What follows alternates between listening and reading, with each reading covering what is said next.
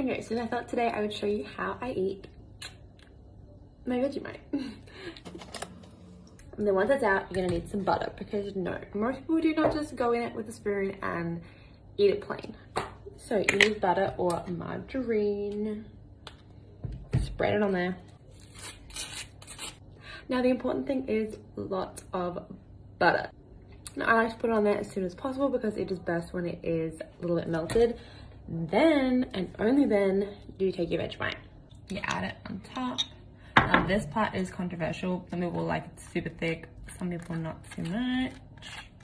That's gonna do. And there you go. Optional bonus step, you can add a slice of cheese, but I'm not going to today. Now I just get to enjoy.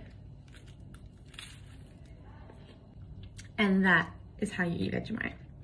Because only psychopaths eat it plain.